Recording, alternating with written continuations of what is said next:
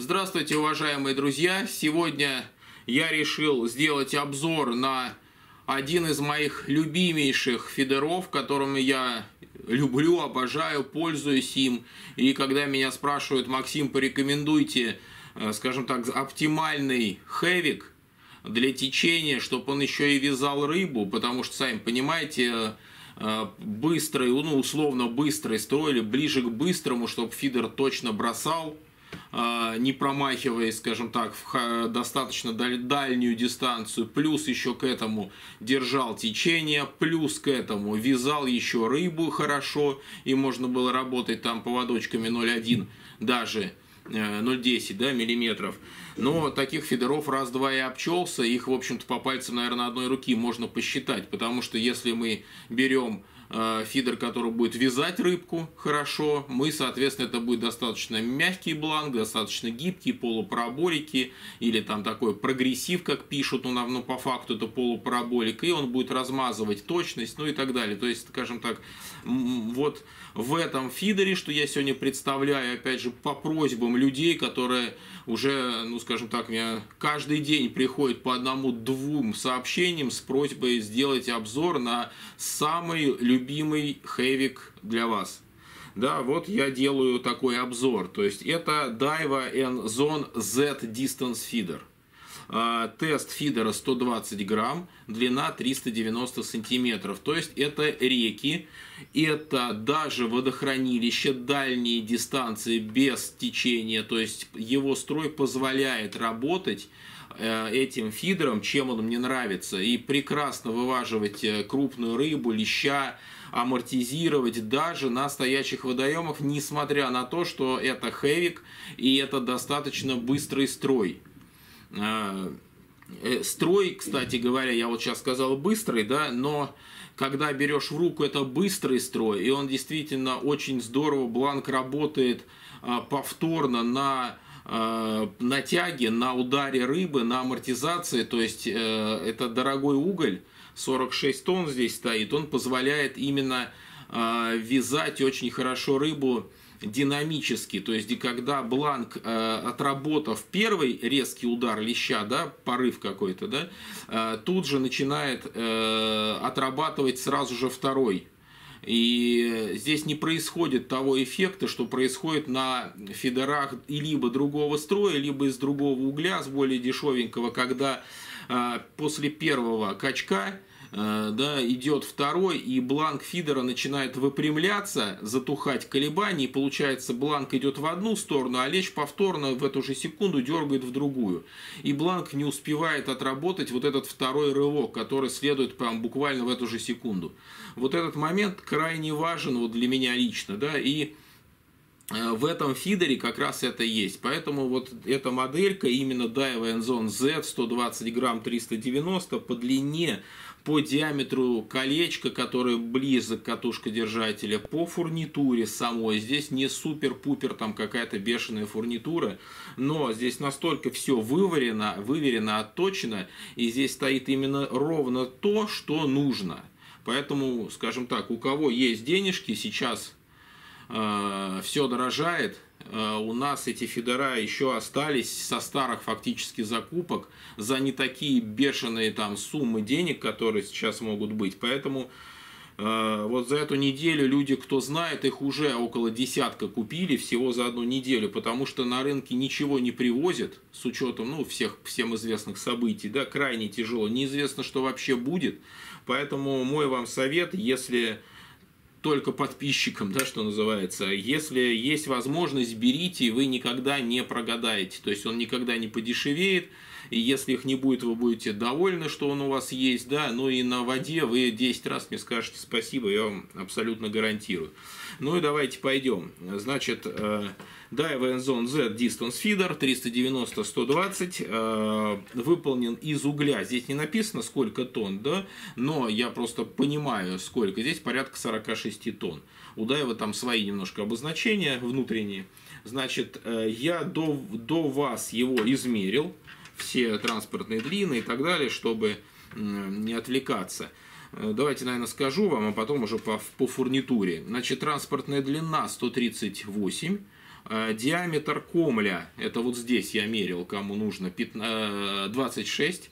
Диаметр бланка вот здесь 15. Диаметр нижнего колечка вот этого 25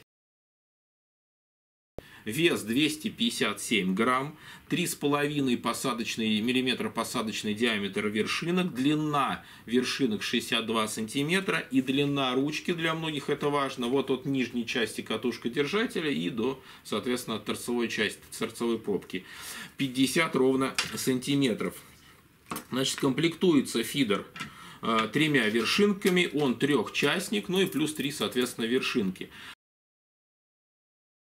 крупные колечки, то есть совершенно спокойно сюда пролетает любой шок-ридер. Я на него ставил плетню 0,12 и шок 0,3 потому что я им ловил на очень дальних расстояниях крупными кормушками, пытался выкармливать леща, и поэтому я понимаю, что стая лещей кушает быстро, много, часто, да, и поэтому я, скажем, там и им бросал на 70 метров, совершенно, ну, не напрягаясь, можно сказать, такую хорошую кормушечку, а, и, в общем-то, он справлялся абсолютно с этой задачей, и шок э, моносплетней – ну, про, ну, не бил он вообще в эти колечки, то есть все пролетает, как будто просто нет узла. Ну, естественно, нужно вязать правильный узел. Кто не знает, смотрите на сайте Multifish в разделе обзоры и советы.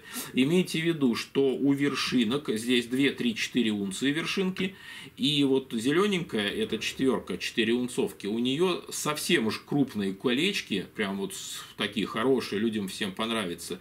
Но и 2 и 3 унции этих диаметра этих колец тюльпана на вершинке более более чем достаточно ну, для любого узла, наверное. При этом э, они прекрасно держат течение и хорошо работают на поклевке. Ну, хорошо показывают. И вот. по вершинкам, дорогие друзья, значит, вот я беру в руки 2, 2 унции написано. Но по факту, а это не 2 унции, это 2,5, 2,8. Имейте это в виду. Поэтому, когда я еду ловить им на стоячий водоем, где нужна чувствительность и максимально дальний заброс, я э, беру, ставлю сюда вершиночку, унцию, ну, мне так нравится, от Zemux, тоже с посадкой 3,5, она прекрасно сюда подходит, и у вас прям вот получается идеальный комплект и на течение, и на стоячую воду. Катушка-держатель Fuji, как сказал, а, отличная не, отличный неопрен, отличная пробка, ничего здесь не намокает. А, несмотря вот на такой дизайн, я как бы не очень любитель большой вот таких дизайнов современных, но здесь действительно, когда работаешь с этим фидером, мне нравится, приятно. То есть как раз рука ложится при забросе левая сюда, и так плотное такое вот ощущение именно монолитности такой конструкции, да, получается, и бросок, соответственно, доставляет больше удовольствия.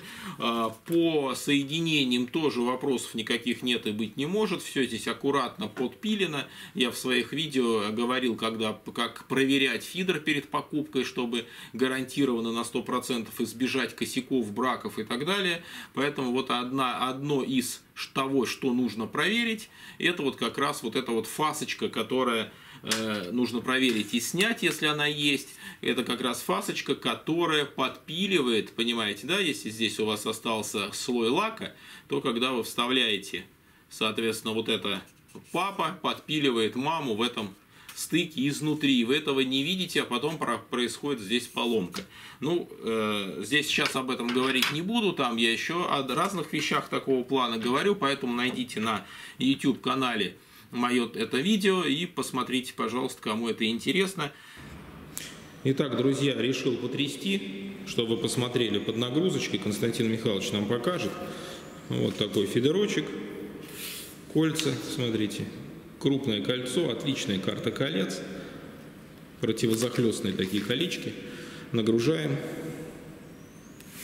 Ну вот смотрите, я вот вам руки показываю, вот в таком виде, он, я вот с двумя руками упираюсь со всей силы, вот такой строй. Теперь я сейчас Константин Николаевич отпустил, и я для вас его попробую как-то в кадре потрясти.